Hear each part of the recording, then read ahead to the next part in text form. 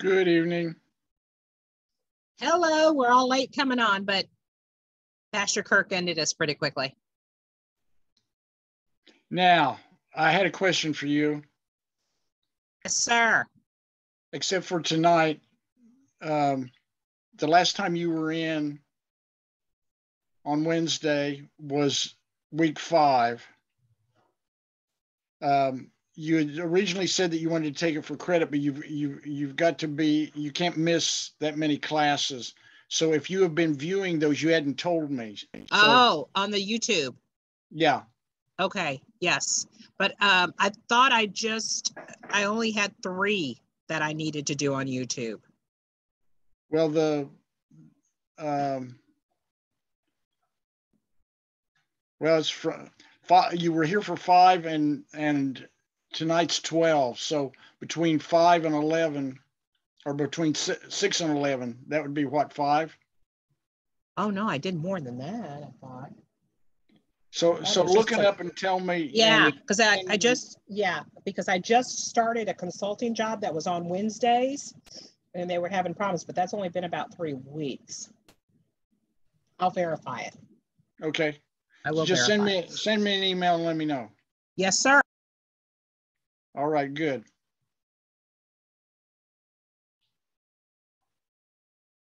Diana, hi.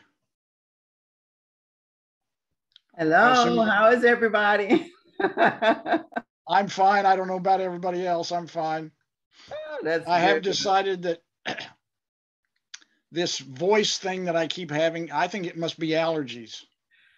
Probably is. I go through the same thing. I just I take did- I allergy did- pills every day. I did have a cold or something a a few weeks ago, but I this is this has lasted way too long and it's a little different. Um, I'm sort of mildly stopped up, but not heavily, and I'm usually okay. But then all of a sudden, I just start coughing. I go And I through the same thing. Yeah. So I, I and they're talking about pollen is worth worse in this area this year. Right, right. And it's been pretty windy here, and I'm pretty sure you're going through the same thing in Houston, right? Lots Yeah. of wind and rain. Yeah, that just adds to it. Yeah, and we've seen um, I don't know what they're called, but they're these things that have from the trees, and um, there's been more of those than I have ever remember seeing. Uh, I haven't been here forever, but the last few years I've never seen seen this much. And I I saw an article recently that talked about um, allergies. Allergies are worse this year. So Yeah. Are those little things, are they like little white cotton things floating through the air?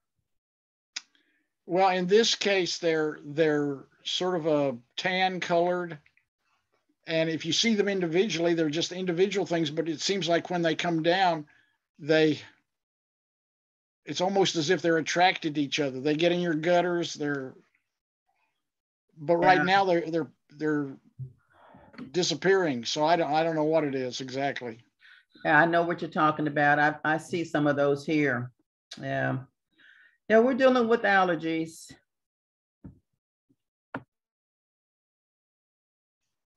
Oh, I, yeah, I ought to be. Every every week I tell myself this. I need to be checking people off.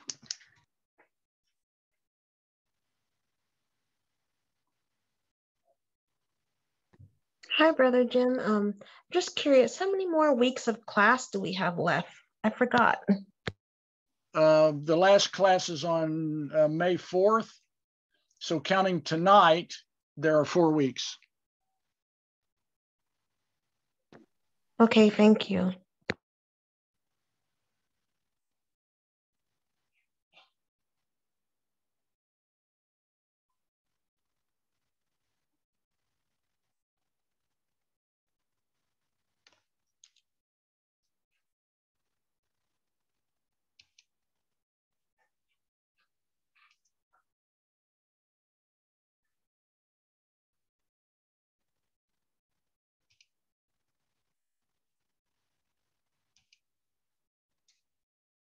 I don't know if any of you can hear it, but uh, the um, ice cream ice cream truck is going to, is coming down our street playing a tune to attract kids to um, get some ice cream. Stop now, so I don't know. Okay.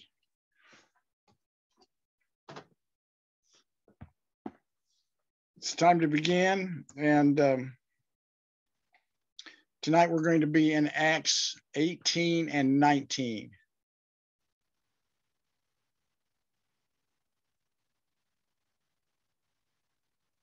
Let's uh, let's begin with a prayer.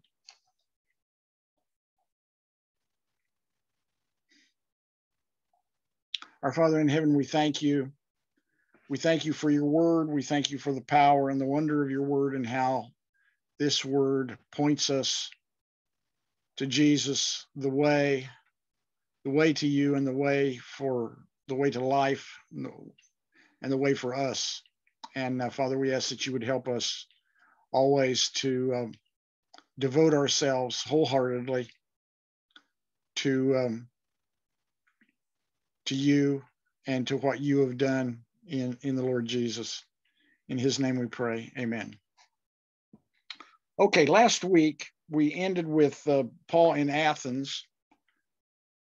Uh, Paul gives a, I think, a brilliant, brilliant sermon there, but the but the most of the hearers are not terribly receptive. And when he comes to the part about resurrection, as is nearly predictable for a bunch of Greeks, they scoff at the message because they didn't believe in resurrection. When you're dead, you're like Rover, you're dead all over. You, there, and and there's no there's no possibility of a resurrection, not of Jesus, not of us. Um, they they could buy the idea of the immortality of the soul but not the resurrection of the body and so when he gets to the end of his uh, sermon and speaks of jesus being raised from the dead that's just too much for them and uh, some scoff some say well this is interesting we'll listen to you again but the impression the impression we get is that they weren't really serious but there were some who joined paul and believed so there was there was a small group that he connected with. Then we pick up in chapter 18. After this, Paul left Athens and went to Corinth. And he found a Jew named Aquila, a native of Pontus, recently come from Italy with his wife Priscilla, because Claudius had commanded all the Jews to leave Rome and he went uh, and he went to see them and because uh, he was of the same trade he stayed with them and worked for they were tent makers by trade. And he reasoned in the synagogue every sabbath and tried to persu- persuade jews and greeks.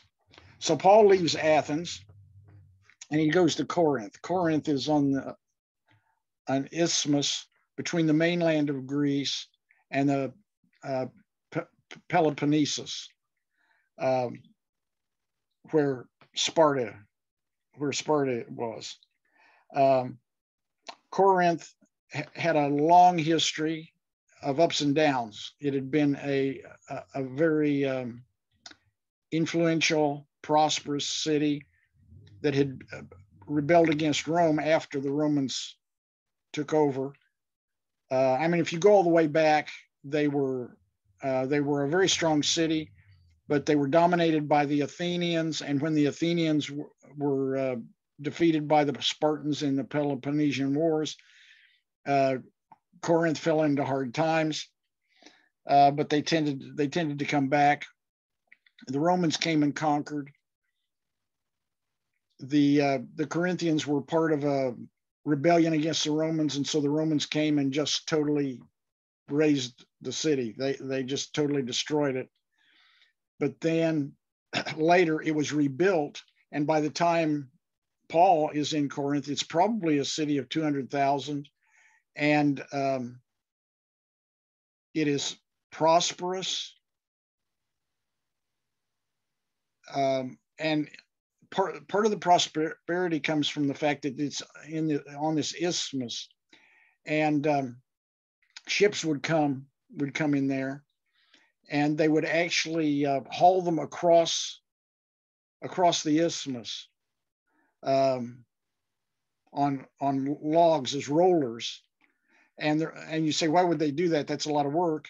Well, it was it was it was a lot of work, but it was safer than going around the the southern tip of um, of Greece, which could be treacherous, especially at certain times of the year, and um, so a lot of trade can, In other words, a lot of trade, both land up and down through Greece and and across the uh, across the oceans or the Mediterranean Sea uh, and um, and so it was prosperous. Also, Corinth was no well. Corinth had the temple to Aphrodite, who was the goddess of love, and um, immorality was just part of part of her worship.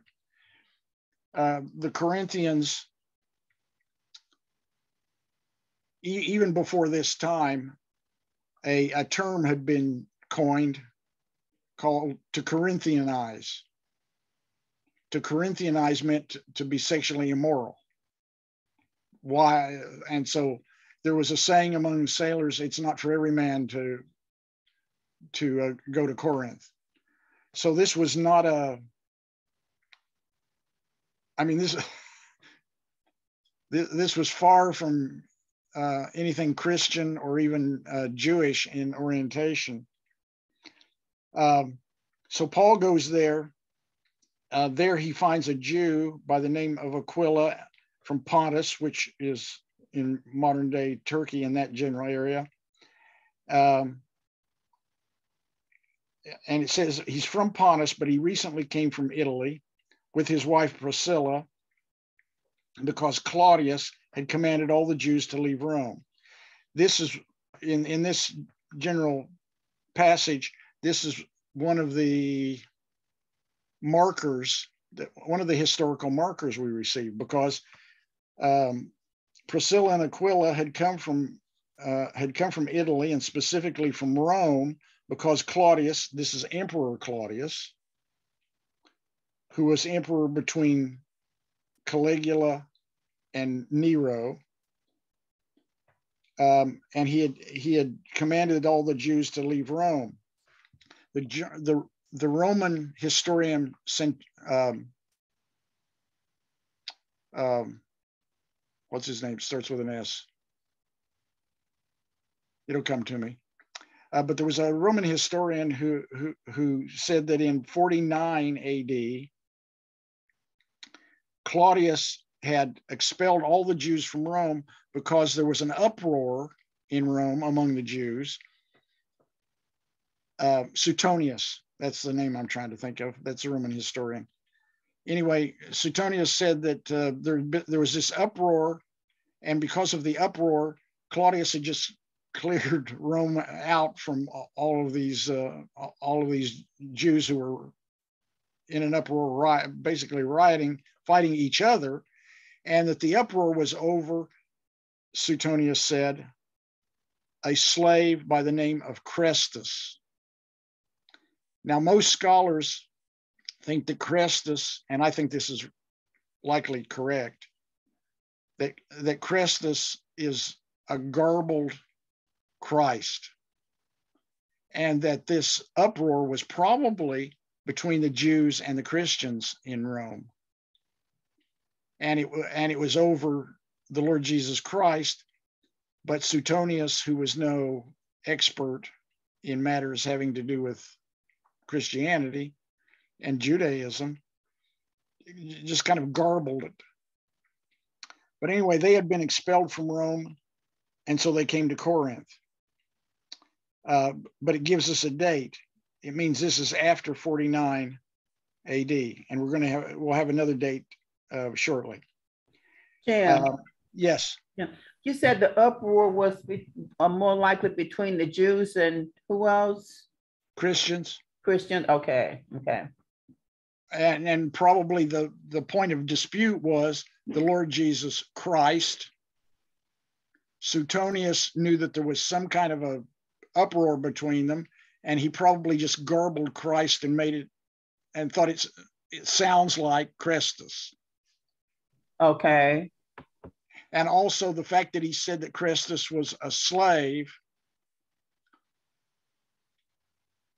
might fit with the fact that Jesus was crucified. Because only the worst criminals and slaves could be crucified. So there are reasons why he could distort that without meaning to, just out of ignorance. Okay. Okay, so Paul joined. Uh, he um, he goes to work. He stays with them and goes to work with uh, Aquila and Priscilla because they're tent makers by trade. Um, Jewish rabbis were taught to get a trade. They weren't to be supported by their fellow Jews. They were to work with their own hands and support themselves. So Paul, even before he was a Christian, would have learned some kind of trade, and apparently the trade he learned was tent making. Uh, Aquila and Priscilla were tent makers, and so he worked alongside them. And very often, you will notice in Paul's letters, he'll talk about how he supported himself with his own hands and that sort of thing. Um, so he, and sometimes this term is being used.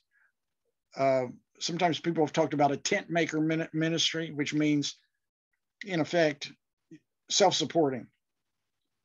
Um, so he's working as a tent maker six days a week. And on the Sabbath, which is Saturday, uh, he, he went into the um, uh, he went into the synagogue and reasoned with the Jews. And we've seen him do this before. He tried to persuade both Jews and Greeks. And the unspoken is he's persuading them that Jesus is the Christ and that with him came the kingdom of God. Picking up with verse 5. When Silas and Timothy arrived from Macedonia, Paul was occupied with the word, testifying to the Jews that the Christ was Jesus. And when they opposed and reviled him, he shook his out his garments and said to them, Your blood be on your own heads. I am innocent. I am innocent. From now on, I will go to the Gentiles. And he left there and went to the house of a man named Titus Justus, a worshiper of God. His house was next to next door to the synagogue. Crispus, the ruler of the synagogue, believed in the Lord, together with his entire household, and many of the Corinthians, hearing Paul, believed and were baptized. And the Lord said to Paul one night in a vision, Do not be afraid, but go on speaking and do not be silent, for I am with you, and no one will attack you to harm you. For I have many people, or I have many in this city who are my people. And he stayed a year and six months teaching the word of God among them. Okay, Silas and Timothy finally meet up with Paul. They've come they've come down from Macedonia. Uh, he was he was working and and preaching both. It appears that once they get there, they started supporting the ministry with their own work, and he spent he was occupied with with the word. At least that's what it appears to, to me. Um, he he was testifying to the Jews that the Christ was Jesus. Uh, they began opposing him, and he gives up on them. Apparently, this opposition was such that he knew he wasn't going to make any more headway than he had already made uh, with them. And um, he shook out his garments, which I take to be similar to knocking the dust off your shoes. I've given up on you and he says, Your blood be on your own heads. I'm innocent. From now on, I'll go to the Gentiles. So he leaves, he goes to the house of a man by the name of Titus Justus, Gentile, worshiper of God. Uh, he's next door to the synagogue. But uh, even though he has turned to the Gentiles, notice verse 8 Crispus, the ruler of the synagogue. So this is a big man in the synagogue, believed in the Lord together with his entire household. So the whole household believed also. And uh, there were many other Corinthians as well that heard Paul and believed and were baptized.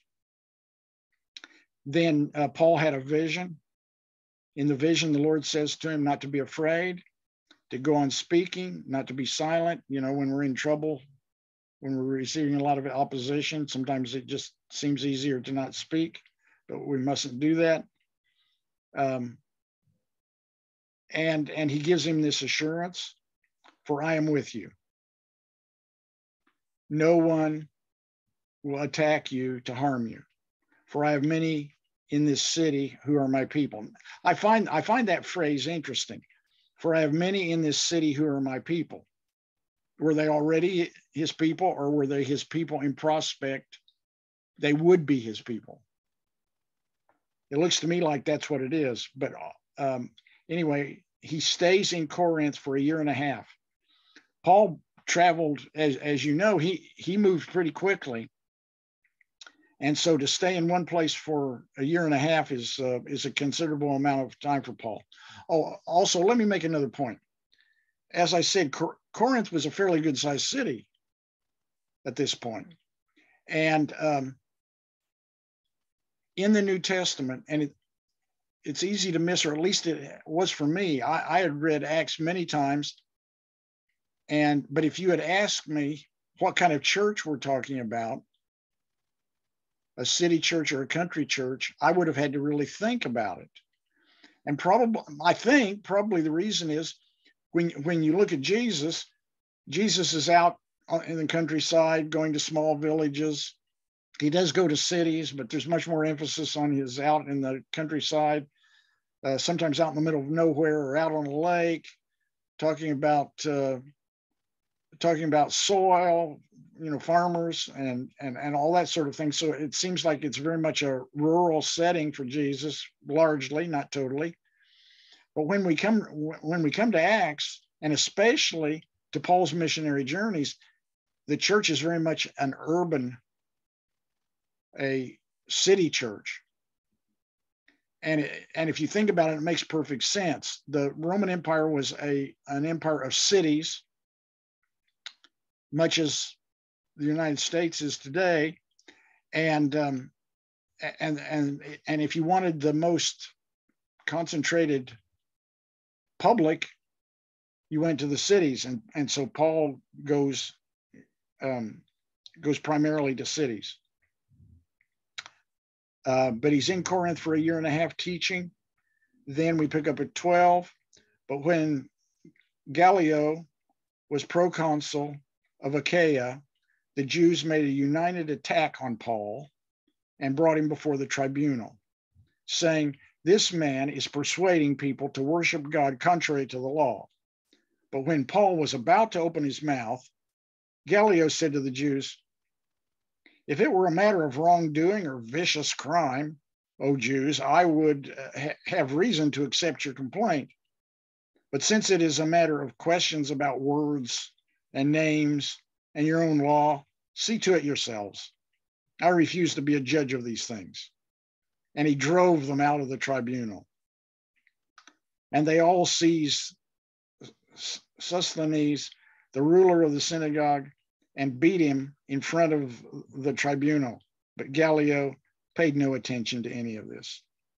Gallio was proconsul of Achaia. Uh, we know from historical records outside the New Testament that he was proconsul from 51 to 53. So earlier we know that uh, that the incident with uh, with Aquila and Priscilla had to have happened after 49, uh, because that's when that's when Claudius, uh, Emperor Claudius, drove the Jews out of uh, out of Jerusalem, and here because Gallio is proconsul, of, of Achaia when when Paul is brought before him, it's got to be between 51 and 53. So it at least gives us a round number.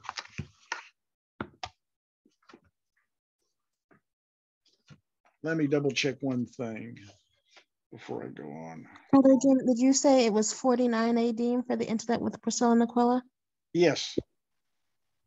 So definitive that year. It's not a like a range or anything. Yeah, in that case, for Suetonius, according to Suetonius, it was 49 AD when Claudius drove them out. Okay, It was, you. was a fairly, I mean, I- what I would get is he would make a, he would just make a proclamation that all the Jews are to leave Rome because of the uproar. And let me, let me correct my thing about Gallio. It wasn't for 51 to 53, it's 51, 52. So it's a smaller 51, 52 for Gallio. Okay, thank you.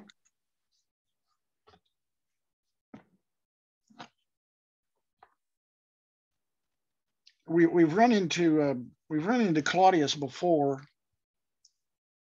Um, Claudius was not highly respected as far as emperors, but um, because he had a he had a manner, he had a gait that people took to mean he was um, mentally slow, but the very opposite seems to be the case. He he was very sharp. Um, and when confronted with this uproar, which he probably didn't really understand, just that the Jews are fighting each other. And so I can't have that going on in, in the capital city. And so I just make an I just make an edict that they all have to leave. Okay, so Gallio, Paul is brought before Gallio by the Jews, and they accuse him of uh, persuading people to worship God contrary to the law, which isn't exactly a Roman interest. Okay, and Gallio says that. If, if, if you if you brought this guy before me for some wrongdoing or vicious crime, then then I would try him. But as it is, this is a matter of, and his language is interesting. This is a matter of questions about words and names and your own law. If I were guessing, words would be like Christ, kingdom of God, names, Jesus, um, things having to do with the law. How does how does Jesus fit into this? Is he is he Messiah? That sort of thing. And and Gallio just says that it, this isn't this isn't an area of Roman interest, and um, you you you make your own decisions. It has to do with your law. It doesn't have to do with Roman law. So he drives them out. Now they beat the the ruler of the synagogue when they go out, and my guess is the reason is he's probably the one that instigated this whole thing, and now they've been embarrassed by the Roman by the Roman proconsul, and that's probably my guess is that's why they they beat him. Uh, but Gallio showed no interest in any of it. Picking up at 18, after this, Paul stayed many days longer and then took leave of the brothers and set sail for Syria. And with him, Priscilla and Aquila. At Cenchrea, he had cut his uh, he had cut his hair, for he was under a vow. And they came to Ephesus, and he left them there. But he himself went into the synagogue and reasoned with the Jews. When they asked him to stay for a longer period, he declined. But by taking but on taking leave of them, he said, I will return to you if God wills. And he set sail from Ephesus. When he had landed in Caesarea, he went up to greet the church and then went down to Antioch. And after spending some time there, he departed and went uh, went from one place to the next throughout the region of Galatia and Phrygia, strengthening all the disciples. okay. Oh, I'll, make one comment about Priscilla and Aquila. You'll notice when uh, when we see Priscilla and Aquila or Aquila and Priscilla, the first time they're introduced, it's Aquila and Priscilla, and um, after that, sometimes it's Aquila and Priscilla, and sometimes it's Priscilla and Aquila. The the normal way to do it to, designate a couple like this, a married couple, would be that the husband's name would be first. So some people have been puzzled by why why sometimes it's not always, but sometimes it's the other way around. Um, it's speculation, but it's very possible that uh, that Priscilla was from a wealthy or prominent family, and that Aquila was not, and so she had a certain social, perhaps financial prominence. Um, but why, why why sometimes they have the order one way and sometimes another way we just we don't really know for sure um, at Cenchrea, Paul cuts his hair because he's under a vow. This would be something like a Nazarite vow, but he wasn't a Nazarite. And uh, so, exactly, uh, this would be a Jewish thing. And um, so, um, but it's not clear why um, why he was exactly why he was doing this. Um, it may be connected with the fact that he he invariably will go back into the synagogues. So uh, he remember he had uh, Timothy circumcised, not because Timothy had to be circumcised to be a Christian, but because it would make him more it would make him acceptable to the Jews. It wouldn't cause a roadblock. And so Saul, Paul, Saul's, uh, many of his actions seem to have been to placate um, Jewish unbelievers and, and to keep from building barriers unnecessarily, which um, is a good is a good principle for us as well. So when he comes to Ephesus, uh, he left them there, but he himself went into the synagogue and reasoned with the Jews. And in this case, these Jews were more receptive. They wanted him to stay longer, but he doesn't, and says if it's the Lord's will, he'll he'll return later. Um, then he goes on, and we have him greeting the church, spending time traveling around Galatia and Phrygia and strengthening the disciples. Verse 24. Now, a Jew named Apollos, a native of Alexandria, came to Ephesus. He was an eloquent man, competent in the scriptures.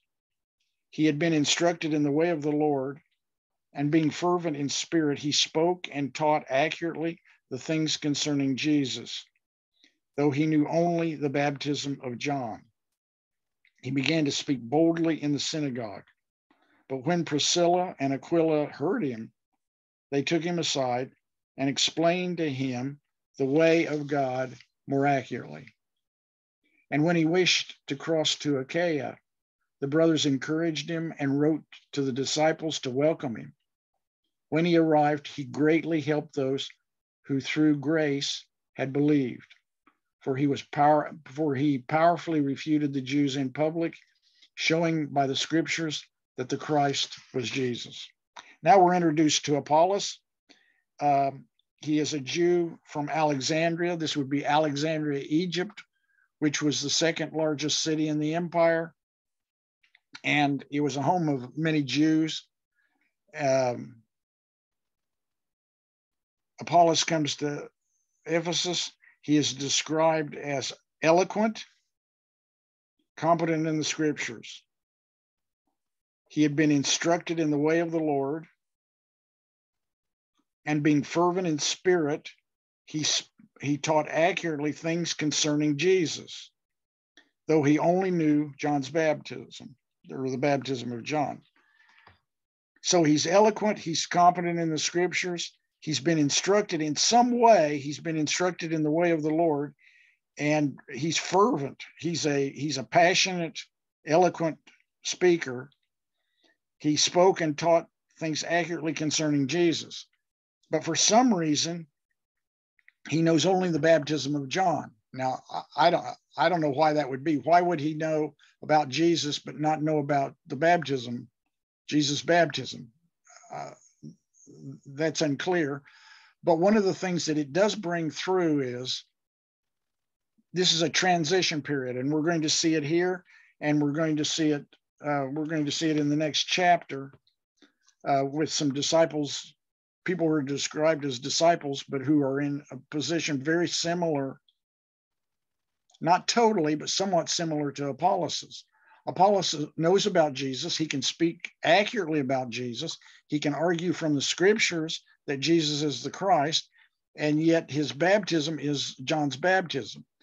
And um, John's baptism is not, was not Christian baptism. John's baptism was a baptism of repentance for the forgiveness of sins, but, and that's similar to what's said about Christian baptism, Go back to Acts 2, verse 38. But but John's baptism was was not in the name of Jesus. So that's not something that that's not something Apollos would understand.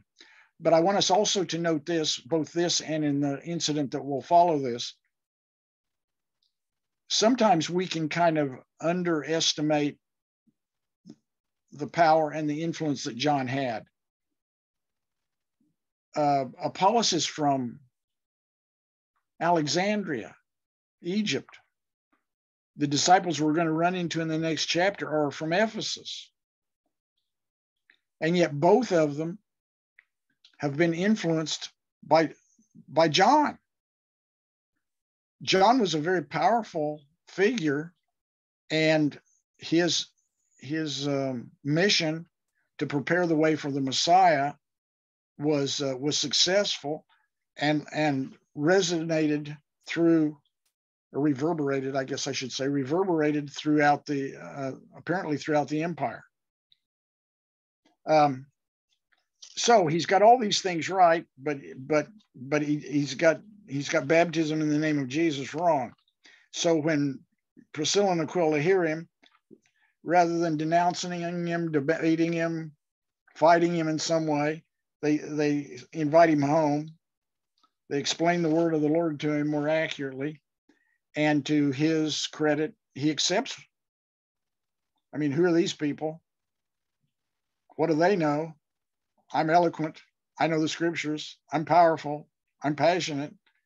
But no, he he accepts the instruction that they receive him receive and and he goes on preaching now with a with a more accurate message. Brother jim that was something i marveled at when i read that because today it just seems like you can't if someone is teaching error or they may not understand something properly they are almost offended if you try to explain something to them more accurately almost. And yeah, so i think that, that, that is one of the that's one of the marvelous things about Apollos is how open he was to truth. And um, I think it goes both ways. He was open to truth, and they made friends. They didn't see him as their enemy, apparently. They invited him home and simply told him told him truth that he didn't he he he didn't understand. And uh, so i think it, it's a marvelous story marvelous account. Um, when he wished to uh, cross over to achaia the brothers encouraged him. The brother the disciples there welcomed him. When he arrived he greatly helped those who through grace had believed. Um, and again we see this he's powerful in refuting the Jews in public and showing scriptures from the scriptures that the Christ is Jesus. Uh, by the way, um, Apollos is not nearly as well known, of course, as Paul, um, but but he he was a powerful figure in, in the early church. And uh, if you read First Corinthians, look at the first chapter. There are um, the Corinthians are all divided up and they are apparently divided around men who are not encouraging their divisions. And so there's there's a there's a Paul party and there's an an Apollos party and a Cephas or Peter party. Okay, uh, this is our man. But it says something about Apollos, and in chapter three of First Corinthians, Paul will say, "I watered, Apollos, or no, I planted, Apollos watered, but God gave the increase." So he doesn't see Apollos as his enemy or rival or anything. They both have their place in the kingdom and in what they're doing in, in the kingdom by the time he writes that. Okay, chapter 19.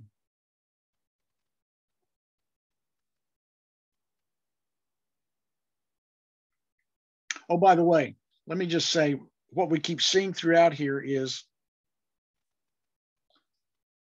people who are fervently preaching about Jesus. That comes over and over again. When they uh, speak to the Jews, they're reasoning from the scriptures. Um, the approach to many of the Gentiles is somewhat different, and yet Gentiles are not all the same any more than Jews are all the same. And uh, we've seen that before with the Gentiles. You have some who are proselytes, which means they've converted to Judaism. You've got some Gentiles who are God-fearers, which means they haven't converted, but they accept the idea of the one true God and, and they're attracted to his high moral standards. Um, and both of these Gentile groups would respect the scriptures and would uh, listen to the scriptures.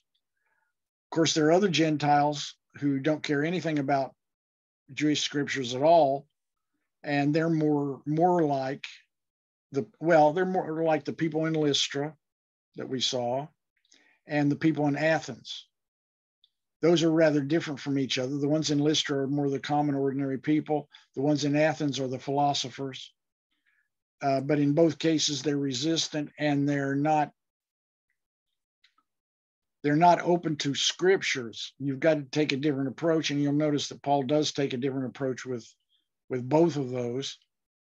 Uh, natural philosophy, you might say, um, with the ones from Lystra, and uh, and and philosophical um, uh, arguments with with the Athenians. But for others, who are who respect the scriptures and listen to the scriptures, um, they they use scripture. And uh, one of the things I found, just as an aside, today sometimes there's this debate about do you use scripture, do you not use scripture. I I think I think the problem is sometimes that Christians, because we believe the scriptures, we bomb unbelievers with scriptures that they don't they don't really believe and um, it sets up a it uh, often sets up a kind of a problem.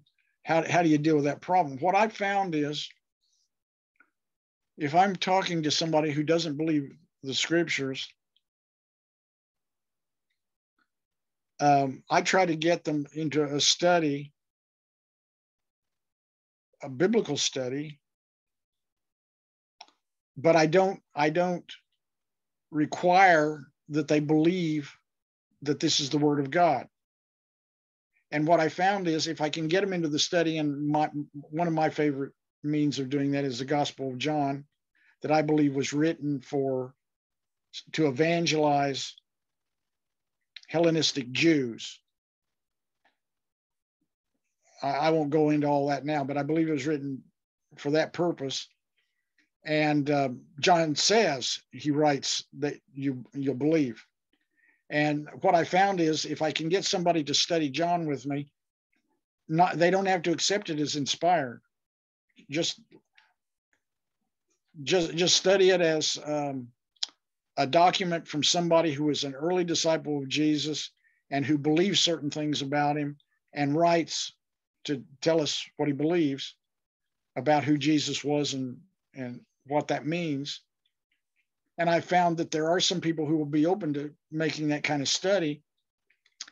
And what I've always found this is 100%. That doesn't mean it will always be this way, but I found in my own experience 100% by the time we get through the end of John, they do believe in Jesus and they believe that the scriptures are inspired. And that's without me making those arguments. I just let John, uh, just let Gospel of John do the work. So that's my that's my aside on this. okay, so Paul is in. Paul is now he's passed through Corinth and he's in Ephesus. Um, chapter 19, verse 1. And it happened that while Apollos was at Corinth, Paul passed through the inland country and came to Ephesus. There he found some disciples, and he said to them, Did you receive the Holy Spirit when you believed? And they said, No, we have not even heard that there is a Holy Spirit. And he said, Into what then were you baptized? And they said, Into John's baptism. And Paul said, John baptized the baptism of repentance, telling people to believe in the one who was to come after him, that is, Jesus. On hearing this, they were baptized in the name of the Lord Jesus. And when Paul had laid his hands on them, the Holy Spirit came on them, and they began to speak in tongues and prophesying. Uh, began speaking in tongues and prophesying. Uh, there were there were about twelve men in all. Um, so he runs into some people who are described as disciples. Except for this case, disciples is used as the equivalent to Christians. So, um, but the word disciple itself means student, learner, follower, and it seems to be used in a somewhat broader way here. Also, let me say, in the ancient world, the word disciples was used commonly, not just of not in just in Christian circles, but the philosophers, for instance, tradesmen had uh, disciples who would imitate the master craftsman. Uh, Greek philosophers had disciples who would imitate their philosophy and their lifestyle. Jewish rabbis had disciples who would imitate them. Uh, the fact that Jesus had disciples was not within itself unique. What was unique was the pattern of discipleship. Jesus is the absolutely unique pattern, unlike the philosophers or the rabbis or master craftsmen. And he is the pattern for everything, everything in our lives. But these are disciples, they're learners but it's obvious they're not Christians yet. When he asks, Did you receive the Holy Spirit when you believed? They had never heard of the Holy Spirit. And uh, he must have suspected something was going on there. I, I think he wouldn't have asked him that question. And then um, he says, Then into what, what then were you baptized? And they said, John's baptism. So we see again that John's John's teachings are out there out there circulating in the in the Roman Empire, and uh, people are becoming disciples of John. Um, and um, and so these people had been baptized, but they weren't baptized in the name of Jesus. And Paul explains to them, and this is go back to Luke three, and you'll see the, where this is coming from he uh, that John baptized with a baptism of repentance. He was calling them to change their minds and change their lives, repent, change directions, and go toward God. And not only was it a baptism of repentance, but he told them to believe on the one who would come after him. So, John, as we know, was leading to Jesus but wasn't the he wasn't the end but he was the he was he was the one who prepared the way for jesus and they saw that so on hearing this they were baptized in the name of uh, the lord jesus and in something similar to what we've seen with the apostles before he lays his hands on them and the holy spirit comes on them and similar to what happened in uh, Jerusalem on the day of Pentecost and what happened with Cornelius, they began speaking in other tongues and prophesying. And it's fascinating to me that it says there were about 12 men. I don't know if that's supposed to be, if that's meant to be symbolic or not. 12 is a 12 apostles, 12 patriarchs, 12 tribes. Uh, it could be that it's uh, it's symbolic in that way. Then picking up at eight, and he entered the synagogue and for months spoke boldly, reasoning and persuading them about the kingdom of God. But when some became stubborn and continued in unbelief, speaking evil of the way before the congregation, he withdrew from them and took the disciples with him reasoning daily in the hall of Tyrannus. This continued for two years, so that all the residents of Asia heard the word of the Lord, both Jews and Greeks. Okay, he goes into the synagogues for three months. He speaks boldly, and we've seen this before reasoning. He speaks boldly, and he's reasoning and persuading them about the kingdom of God, which inherently has to do with Jesus, the Messiah, um, because he is the king. Uh, he's the messianic king of the kingdom. Um, but there are some people who were stubborn. They continued in unbelief. They spoke evil of the way. Notice in Acts, the way is used as a term for um, the church. Uh, the way, the way of salvation, the way to God.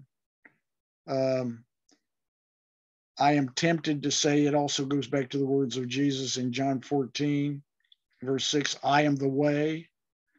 Uh, there are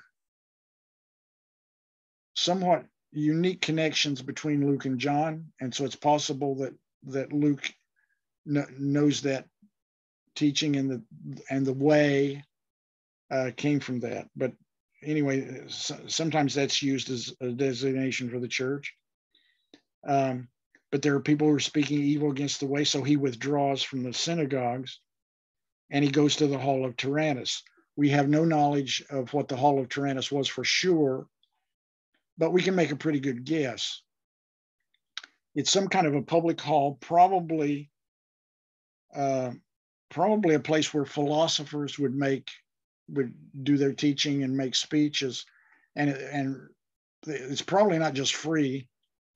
Paul and his party probably are paying rent uh, to use the hall. Tyrannus means tyrant, so it's it's kind of hard to see. I mean, a, a philosopher could own it or somebody else, but uh, you really want to call this guy the tyrant? I don't know. Maybe Maybe it's a nickname that his students gave him. He's a tyrant. Uh, but anyway, for two years, Paul goes to this hall, probably a philosopher's uh, hall, and uh, continues teaching people. And uh, the word spreads all around the Roman province of Asia so that the Jews and the Greeks hear the word of the Lord. Starting at verse 11 And God was doing extraordinary miracles by the hands of Paul, so that even handkerchiefs or aprons that had touched his skin were carried away by to the sick, and their diseases left them, and the evil spirits came out of them. Then some of the itinerant Jewish exorcists undertook to invoke the name of the Lord Jesus over those who had evil spirits, saying, I adjure you in the name of Jesus, whom Paul proclaims. Seven sons of the Jewish high priest named Sceva were doing this. But the evil spirit answered them, Jesus I know, and Paul I recognize, but who are you? And the man in whom was the evil spirit leaped on them, mastering, mastered all of them, and overpowered them so that they ran out of the house naked and wounded. And this because and this became known to all the residents of Ephesus, both Jews and Greeks, and fear fell upon them, fell upon them all, and the name of the Lord Jesus was extolled. Also, many of those who were now believers came, confessing and uh, divulging their practices. And a number of those who had practiced magic arts brought their books together and burned them in the sight of all. And they counted the value of them and found it to be 500,000 pieces of silver. Or no, 50, not 500,000, 50,000 pieces of silver. So the word of the Lord continued to increase and prevail mightily. Okay, there is this, I think, humorous, I think this is a pretty funny story. Uh, God is working powerfully through through the apostle Paul. He's doing miraculous things, so so much so that a handkerchief or a apron that he's touched, just touched his skin, was carried off to the sick, and they were healed. Uh, they were healed by touching it, or evil spirits came out of uh, them if there were evil spirits. But there's some itinerant Jewish exorcists who who find that Paul's powerful, and this name of the Lord Jesus is powerful, and uh, that could help us in our exorcisms. So they were invoking the name of the Lord Jesus, saying, "I adjure you by Jesus whom Paul proclaims." Notice. they're not claiming, they're not claiming to believe in Jesus they're just using the name of the Lord Jesus that Paul proclaims. So they're using this as magic. It's not, it doesn't come out of faith in Jesus.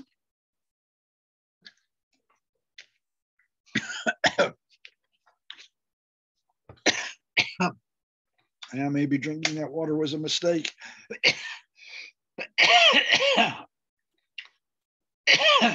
mm.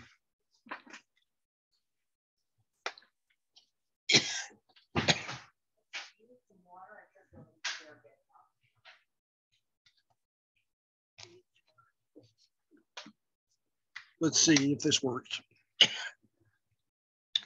Anyway, they've used his name as if it's a magic talisman or a magic wand.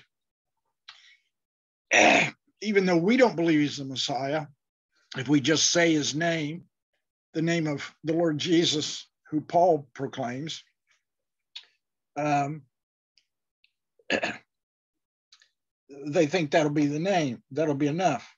Well, they don't say Lord Jesus. They say just say Jesus.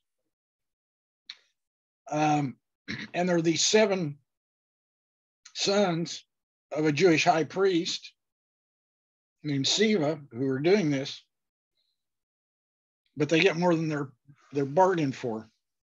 They they they try this, and the evil spirit within a man says, "Jesus, I know, and Paul, I recognize, but who are you?"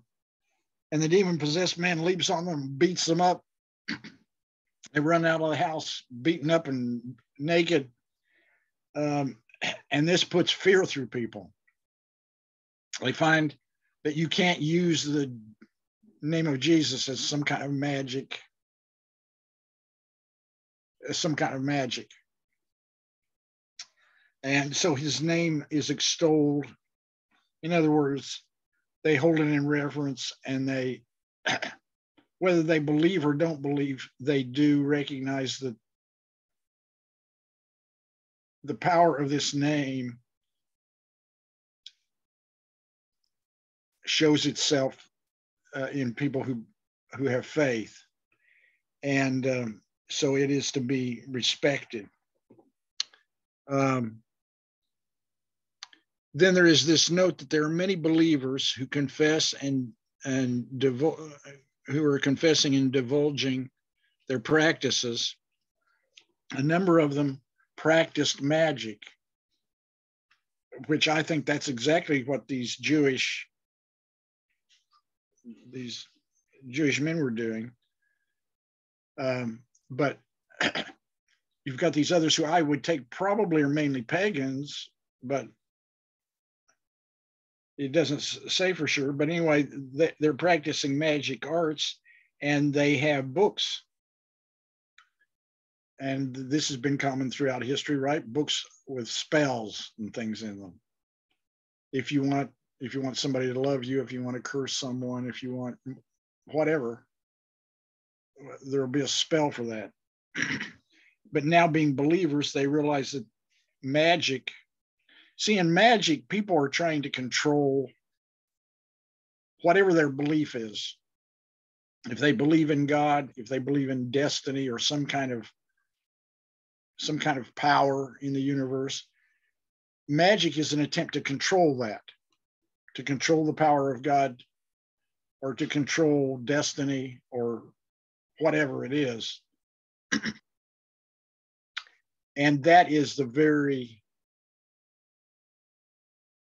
antithesis of believing in God. Nobody controls God. Nobody controls what God will do. You can't use God to get what you want. Um, but a magic orientation does that. Well, the, these people realize that faith in the Lord Jesus means that they've got to denounce this magic beliefs that they've had, these magic beliefs. And so they bring these books and they burn them. And it and the and the books they burn are worth a considerable amount of money. 50,000 pieces of silver. They could have sold them. But they're evil. So they wouldn't sell them. They just burn them. And then we've got a note again that we've seen so often so the word of the Lord continued to increase and prevail mightily. No matter what happens, no matter what's going on, the word of the Lord keeps going forward. Okay, picking up now at 21. Now, after these events, Paul resolved in the Spirit to pass through Macedonia and Achaia and go to Jerusalem, saying, After I have uh, been there, uh, I must also see Rome. And having sent into Macedonia two of his helpers, Timothy and Erastus, he himself stayed in Asia for a while. About this time, there arose a little, no little disturbance uh, concerning the way. For a man named Demetrius, a silversmith, who, who made silver shrines of Artemis, brought no little business to the craftsmen. These he gathered together with the workmen in similar trades and said, Man, you know that from this business we have our wealth.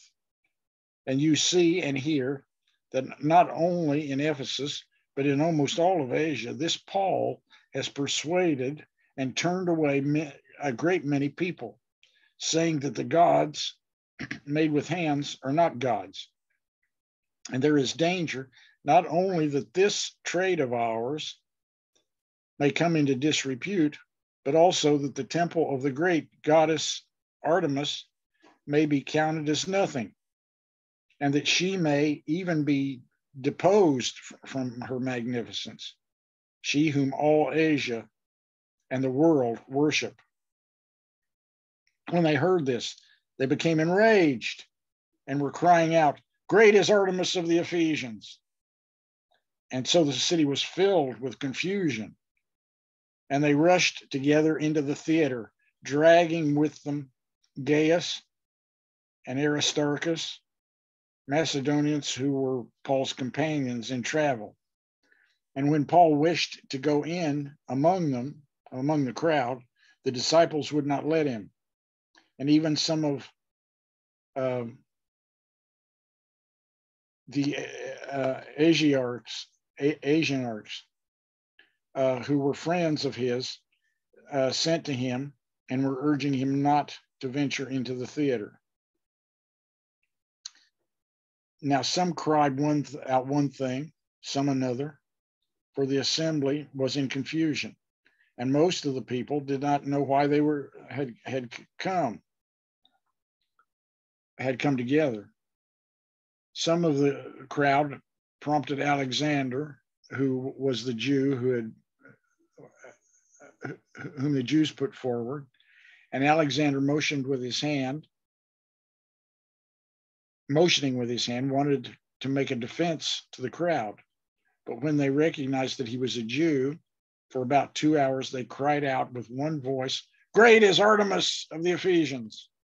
And when the town clerk had quieted the, the crowd, he said, Men of Ephesus, who is there that does not know that the city of, uh, of the Ephesians is, is temple keeper of the great Artemis and of the sacred stone that fell from the sky? Seeing then that these things cannot be denied, you ought to be quiet and do nothing rash. For you have brought these men here who have neither who are neither sacrilegious nor blasphemers of our goddess. If therefore Demetrius and the craftsmen with him have a complaint against anyone, the courts are open and there are proconsuls. Let them bring charges against one another. But if you seek anything further, it shall be settled in the regular assembly. For we are really, we, we are, we really are in danger of being charged with rioting today, since there is no cause that we can give to justify this commotion. And when he had said these things, he dismissed the assembly. Okay, Paul uh, is in Ephesus. In Ephesus, there is a silversmith by the name of Demetrius. Demetrius makes, we're told, silver shrines of Artemis. Now, background to this that you need to understand is one of the one of the seven wonders of the ancient world was the temple of Artemis in Ephesus.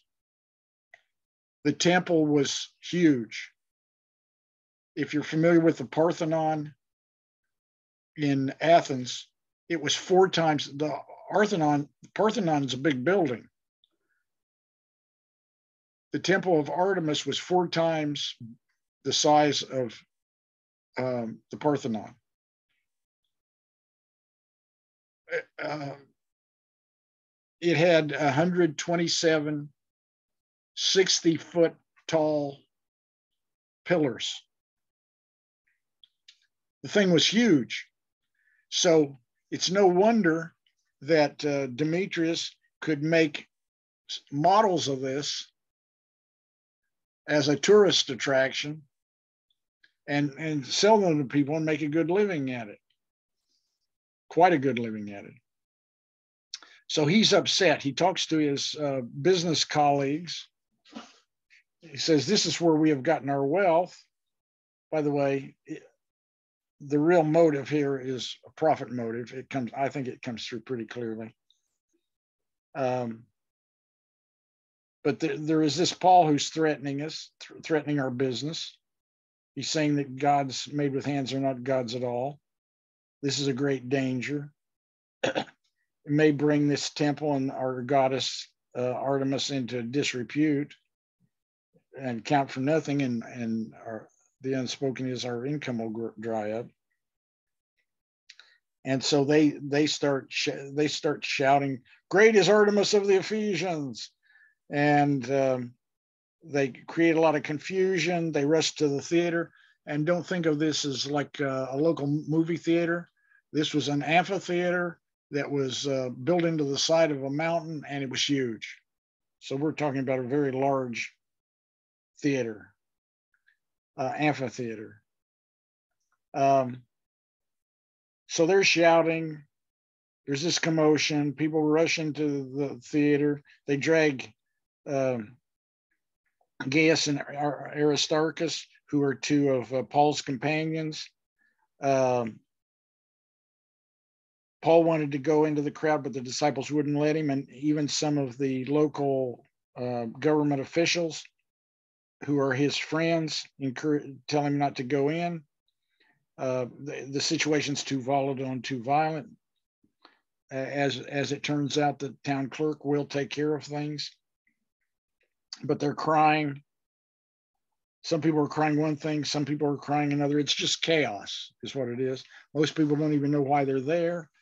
Um, some in the crowd prompted Alexander, who was a Jew, to to uh, speak. But when they find out he's a Jew, they uh, they won't listen to him.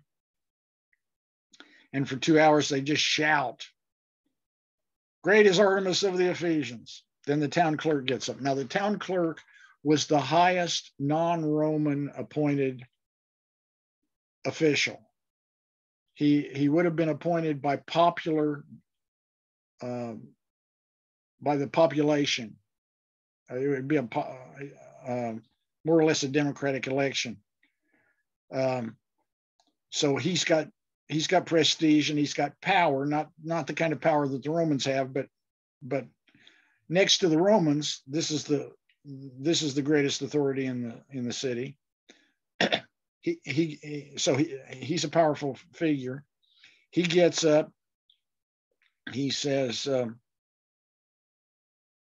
"Who is there that does not know that the city of Ephesus is the temple keeper, temple keeper for the great Artemis. We we have our temple here, in other words, and we keep the temple. Um, and for the uh, sacred stone that fell from heaven, there the, there was a myth in Ephesus that uh, a stone, a kind of image of Artemis, had fallen from the heaven. Our best guess is that there was a meteor uh, that landed, and they thought it had come from Artemis, and so it was their sacred stone. He says this, none of this can be demo, demo, denied. Um, you need to you need to keep quiet and and do nothing rash. He says the, the men that you the men that you're you brought in here have done nothing that was sacrilegious or blasphemous against our goddess if if Demetrius and the craftsmen have a problem, then they need to go to the courts, the proconsuls. Those would be the Roman officials. But if you're seeking anything further right here, right now, it needs to be settled in the regular assembly, not not as a mob action, is what he's implying. We're in danger of being charged with rioting. And by the way, the, the town clerk was responsible for keeping order so he's got a big stake in not letting this riot to run rampant. He says there's no good cause for it. There's nothing that will justify this. and if we keep on going like this, uh, we're going to be in danger of, uh, of the Romans, um, the Roman authorities uh, considering this a, a riot. Um, and so when he said these things, he dismissed the assembly. Um, and next week we'll pick up we'll pick up where this leaves off. But what we see again is God is protecting his people and, and he's protecting the word goes forth. You've got you've got Jews who reject it. You've got Jews who don't just reject it, they they commit violence against uh, the people of God. You've got pagans who reject it, pagans who riot, uh, who just irrationally just shout, "Great is God! Great is Artemis of the Ephesians," without really coming to terms with whether it's true or not. Um, I don't know to you if that sounds familiar or not, but today we've got so many people who have this emotional thing going on and they they're not interested in whether it's true. It's true because they feel it apparently. Uh, we live in a very feeling time. Yeah but that takes also into account um, some of the strife that Peter had because of Halakha. Remember, part of his struggle was the traditions, the Torah, and the customs. And he had to completely shake himself that no, I can't do this. It was a whole new kind of way of life because of Jesus. Uh, yes, absolutely. So Uh, I, I can't even imagine the time for everybody because even some of the Jews that were accepting Jesus, wow, I mean, a complete turn of their world, complete turn. Yep. Yes. And that's one of the things that comes through very strongly throughout Acts is uh, conversion is a complete turn. That's a, and uh, that's a reason I keep going back to the word uh, repent, repentance. To repent means you're you've changed your mind and you change your direction. Sometimes people think of repentance as feeling bad for your sin. That's actually that's a fruit of repentance, but it's not repentance within itself. When it's within itself, repentance means I believed this and I was headed in that direction, but my mind changed and I headed in that direction. I was headed away from God, whether I was religious or non-religious, it doesn't matter. It was it was religion or non-religion without God, and now I'm I'm moving toward God. And whether they were Jews or Gentiles, whether they were whether they believed in the one true God or whether they Right. were pagans, um, Well, we still They- do it today. need- We still manipulate it today. Yeah. Well, it's kind of what I was saying earlier. In a sense, they lived in an emotional era and we live in an emotional era. Amen. Yep. Those, it, it- it's not that different. No. The only mean- piece is studying the word. That's the only piece that you can have is by studying the word. Yes. And when, when it speaks, when it speaks over and over of Paul reasoning and persuading from, from scripture, that's what they needed and it's what we need. We need to keep Mhm. going back to scripture to understand what it actually says and to, uh, to reason from, to reason from that. And, um, it's it's easy whether it's then or now to um, to miss that That's right. And but it's it's absolutely vital that we not and that we be willing to follow the the word of the lord wherever it goes that is not cold heartless that is No. in scripture god is speaking to us Amen. Yes, we, sir. we, we hear his voice and we need to listen to his voice Be and- obedient. yes we need to listen to his voice and obey it wherever it takes us.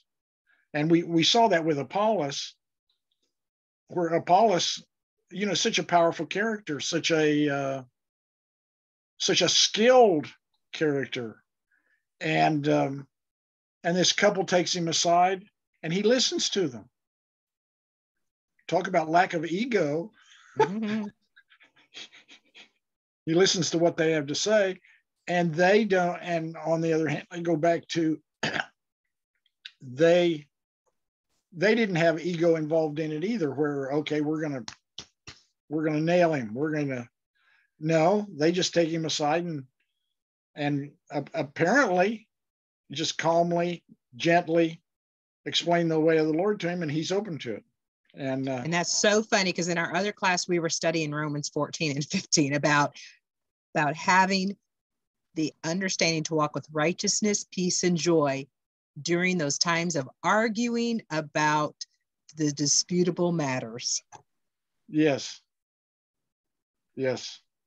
Okay, we will have a prayer, and then if you have other questions or comments, I'll be happy to uh, uh, ha- happy to hear those.